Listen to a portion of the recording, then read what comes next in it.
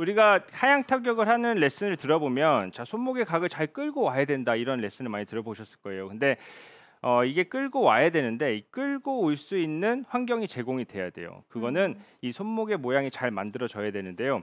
일단 그 기본적으로 우리가 그 잘 끌고 오지 못하시는 분들의 백스윙을 보면 뭐 이유는 너무 많을 것 같아요. 뭐 갔을 때 그립이 잘못됐을 수도 있고 setup이 잘못됐을 수도 있고 그리고 일단 기본적으로 우리가 스윙을 한다 그러면 백스윙이 회전이 돼서 오른쪽 올라가게 되는데 이게 몸통 회전을 하면서 올라가는 거는 좋은 결과를 만들어내지만 이 손으로 이렇게 올라가는 분들이 굉장히 많거든요. 그래서 이렇게 올라가게 되면은 지금 왼손목이 꺾여 있는 것을 볼 수가 있고요.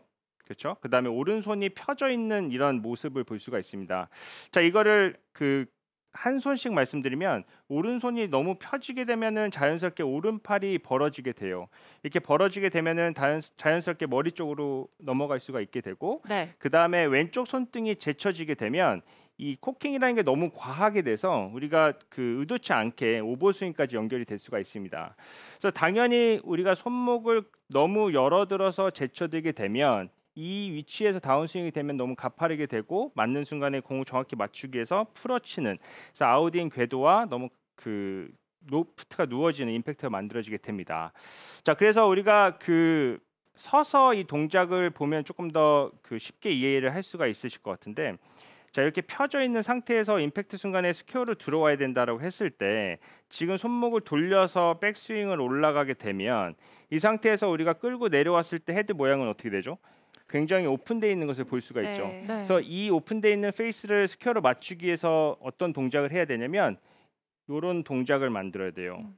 자 이런 동작을 만들었다는 거는 아까 이다현 프로의 임팩트 왼쪽으로 기울어져 있는 샤프트가 아니라 다운스윙 때 오른쪽으로 기울어, 기울어져 있는 이런 아. 모양이 만들게 되죠. 물론 스퀘어로 맞을 수 있어요. 이렇게 네. 되면 그렇지만 요 과정에서 out-in 궤도와 그다음에 누워 있는 로프트가 만들어지기 때문에 이 방향과 거리 두 가지를 다 놓칠 수가 있게 됩니다. 그래서 우리가 정확한 그 하향 타격 어테인을 만들기 위해서는 일단 백스윙 올라갈 때의 탑에서 손목, 손목의 모양이 굉장히 중요한데요.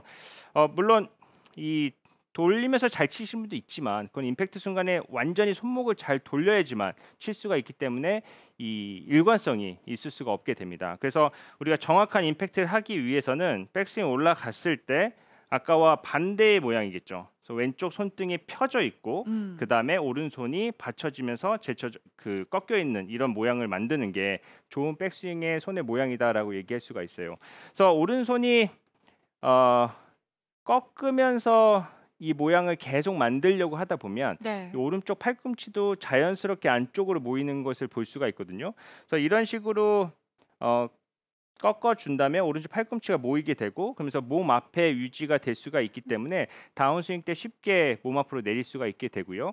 그다음 왼쪽 손등도 펴준다는 이 의미는 아까 그 꺾이면은 넘어가는 양이 너무 많아진다고 했잖아요. 근데 이 왼쪽 손등을 피면 오버 스윙은 절대 나올 수가 없게 됩니다. 그래서 음. 훨씬 더 그 간결하고 그 좀 더 깨끗한 백스윙 만들어낼 수가 있다라는 거죠. 그래서 평소에 백스윙 올릴 때 허리쯤에 갔는데 측면에서 한번 보여주시면 어, 헤드의 모양이 내 척추 각보다 훨씬 더 열려 있다.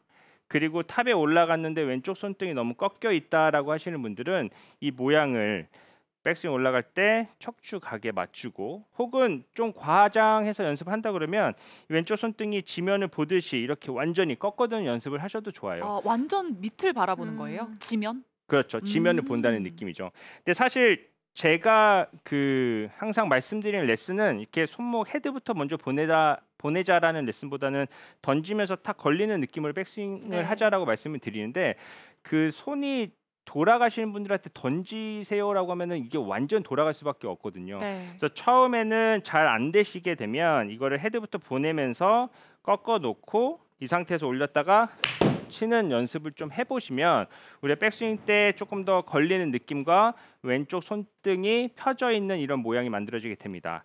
자, 그래서 잘 된 손목 모양을 한번 다시 보여드리면 네.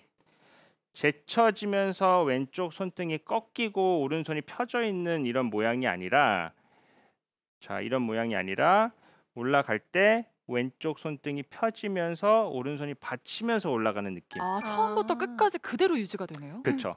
그래서 이런 식의 백스윙이 돼야지만 백스윙도 작게 만들어지게 되고 음. 그다음에 우리가 유지해서 내려올 수 있는 손의 모양 아까 보여드렸죠. 이 상태에서 피고 올리면 이 모양을 회전을 하면 어떻게 되죠? 아까 스퀘어가 되죠. 네. 예, 근데 이 상태에서 돌려서 들면 내려오게 되면 페이스가 많이 열리기 때문에 이런 모양을 만들 수밖에 없다라는 겁니다.